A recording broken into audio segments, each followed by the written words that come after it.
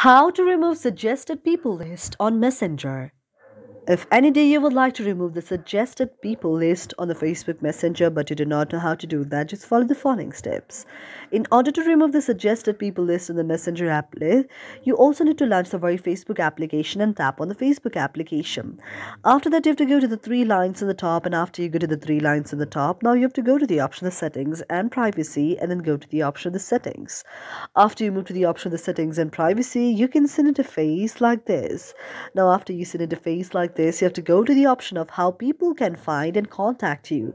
After you go to the option of the how people can find and contact you, now you have to scroll down until you find the option like this. Now you have to go to the option who can Facebook suggest your profile to based on your phone number or address. In the very option people with your email address, you have to search it to the option of the no one. If you have set it to the possible connections like this, you have to set it to no one there.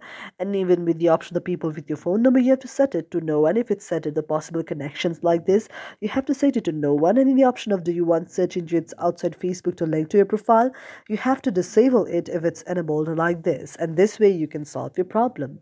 Thank you for watching our video. And if you really like it and if you find our video to be meaningful to you, do not forget to subscribe our channel.